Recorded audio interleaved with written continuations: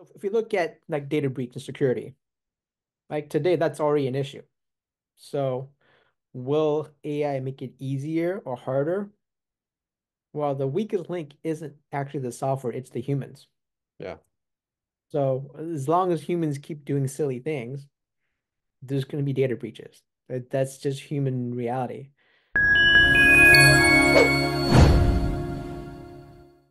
Welcome to season two of Practical AI, everybody. My name's Jeff, and I'm with Peter Lin. We are sponsored by Pocket AI. Pocket AI is a tool that allows you to perform surgery on your models to make them better. While everyone today is talking about RAG and refinement, Pocket AI allows you to edit your weights directly. Peter, our topic today is one that actually came in as a request from a, a listener, watcher. Um, and that is just generally speaking, the risks of AI. It seems that um, AI safety is kind of a, syn a, synonym with alignment, which is mm -hmm. kind of interesting just in and of, in and of itself. Um, and it seems like people are really, really stressing the the risks and um, you know the sort of the doomsday stuff, loss of jobs, nuclear war, Skynet, the whole thing. So I think people wanted just to kind of get our perspective on what are the risks with AI, um, what are the opportunities, and sort of what are we balancing here? So that's a, that's a great question. I think being afraid is actually perfectly natural, and you should have some level of fear. Um, because if you didn't, then that would be a concern. um, but I think I'll just relate to my own experience. When when DARPA first created the Grand Challenge, which was to have a vehicle drive autonomously in the desert. And the first year, I think the furthest that a car got was like 10 miles. And then it ran into a ditch.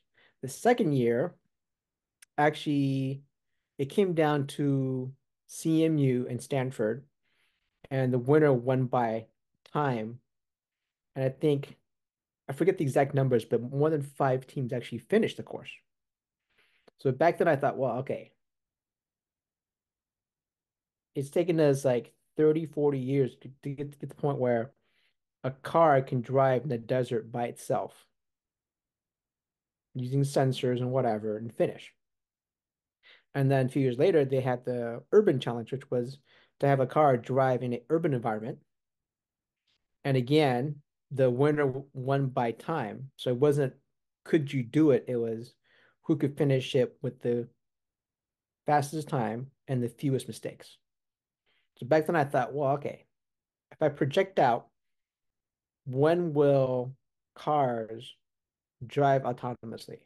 And I thought, because before that, I thought it would be another 50 or 60 years. But when that happened, I thought, okay, well, maybe it'll be in 20 years.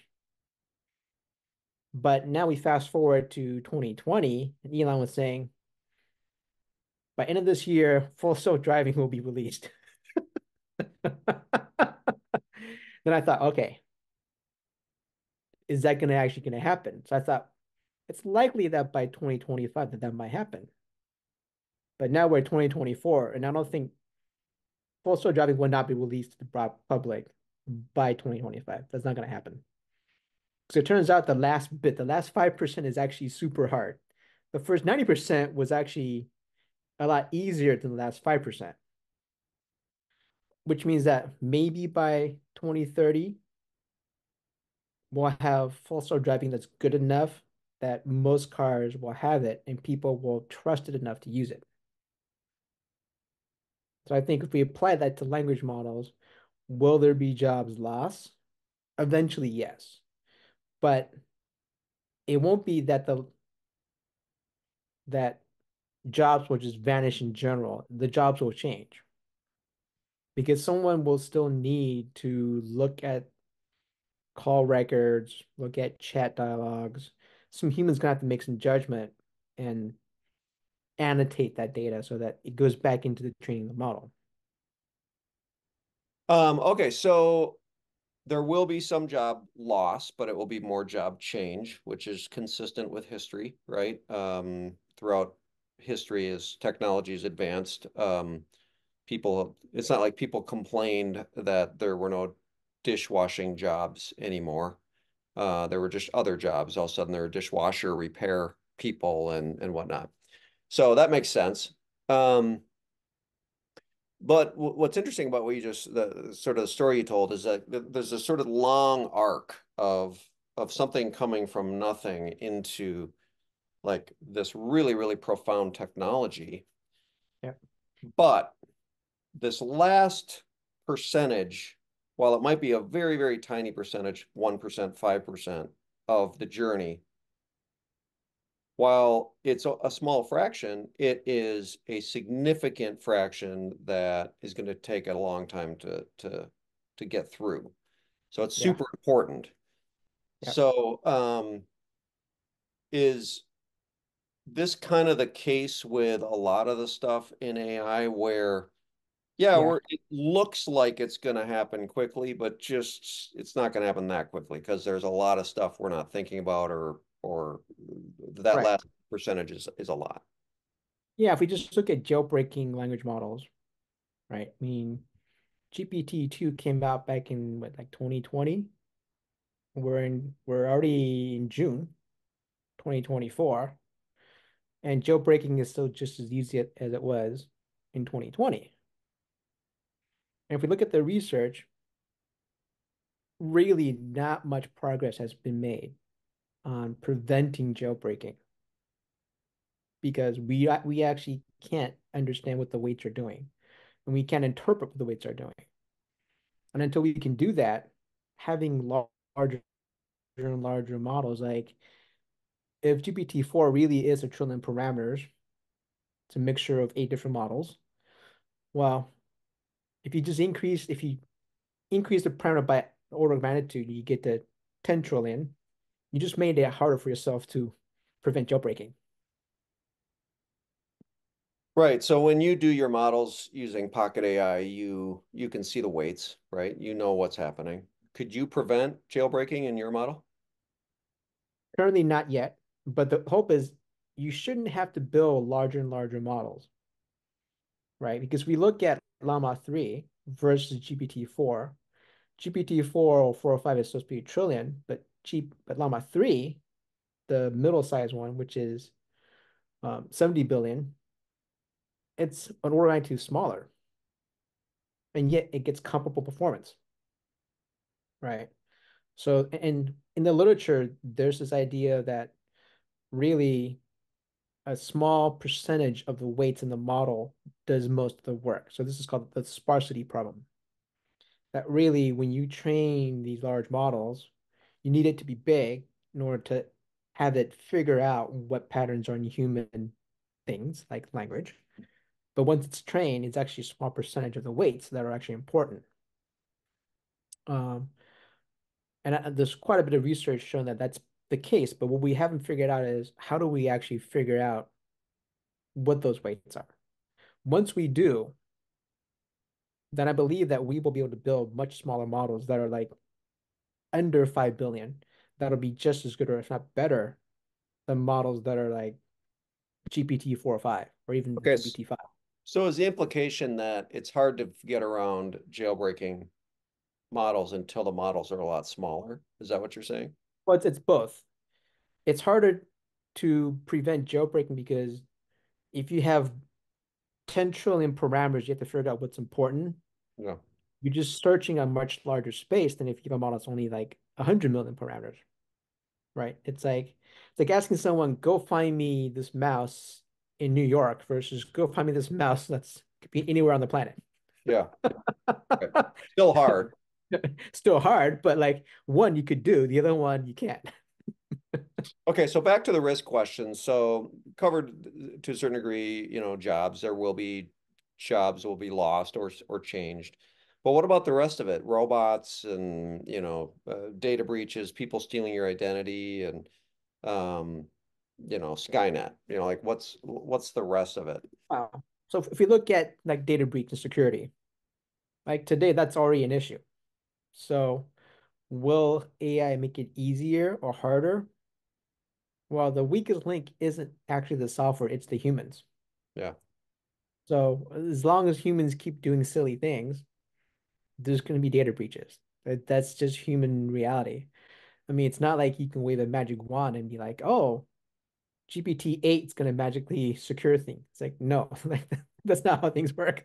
if someone writes their password on a sticky pad and then someone comes in and steals it, yeah, doesn't matter. Well, that's how the movie War Games gets started, right? um, okay, so what about like uh Armageddon, nuclear war, something like that?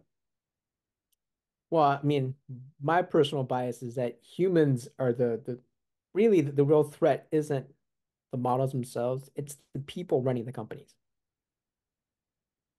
Because when you have absolute power, it gets really easy to get intoxicated with that power. So, extrapolating out from that, the real risk is that too few people have too much power in AI. Exactly. Yep. Yeah, because then it's much easier for a few people to take control of everyone. Whereas if we make AI accessible to everyone and it's it's in the hands of everyone and anyone can train models, then the, the playing field is much more level because now you don't need to go to Microsoft or OpenAI or Anthropic or AWS or Apple for a model because then you can just build your own. So who cares? Yeah, it's kind of like kind of like the printing press thing from centuries ago, right? Where it was viewed as this, you know, out of control risk. Yeah. Just what would happen if people other than monks could distribute literature, you know, something like that, right? Yeah, well, yep. yep. When when uh when was it the Roman Empire formalized the Bible, they picked the different books and compiled it. And then they threw away books that they didn't like. and then they printed that over and over and over and over again. Yeah and then only the monks could control it until the printing press came out. Then it was like, no, anyone can write books, anyone can share knowledge. Yeah. And as a result, we had that huge boom in knowledge, inventions and innovations, and people sharing ideas. And we had this beautiful flowering of art and literature and technology, which I feel like once once we get to the point where AI technology is accessible to everyone, we're gonna see another kind of shift where a ton of people will get to build cool AI, cool technologies that other people can use.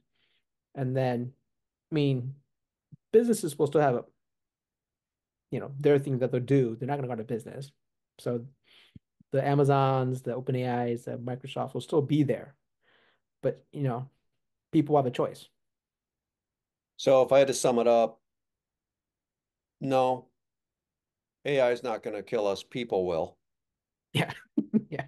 And uh, the best way or the, the, the, the straightest path to not a, a destructive future is that more people have access to this, not fewer. Exactly. Yep. That, that's my biased perspective. Being an open source guy, like even the open source has been co-opted by companies the reality is anyone in Africa with a computer could download any open source library and, and start learning and do stuff and change their lives if they want to. So yeah, like Red Hat got bought out by IBM. That's fine, but there's still Linux is still open to anyone that wants to use it. Good. Great conversation, Peter. Thanks for the feedback and the and the opinions. Uh, we will try to provide uh, as much um, intel and and uh, feedback as we can. It's great to get questions like this from you, our audience, and if we can get more, we'll try to address them. Peter, everyone, thanks for watching and listening, and we will be back next week. Take care.